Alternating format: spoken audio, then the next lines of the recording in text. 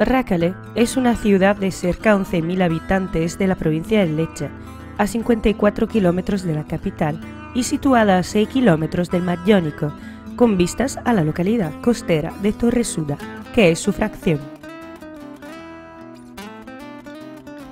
Su nombre original era Heraclea, desde Heraclio, liberto de confianza del emperador César Augusto, lo que habría contribuido al nacimiento de la pequeña localidad de Rácale, poniendo el lobo amamantando a los gemelos Rómulo y Remo como símbolo del pueblo.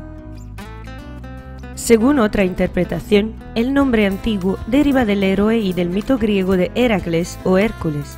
Por lo tanto, Heraclea testificaría este vínculo con la antigua civilización y cultura helénica.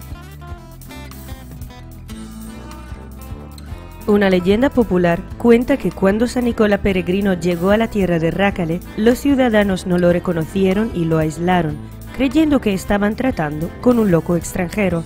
Cuando se dieron cuenta entonces de que sus hijos lo adoraban y escucharon sus enseñanzas religiosas, finalmente lo expulsaron del pueblo. A partir de ese momento, los habitantes de Rácale fueron llamados los locos.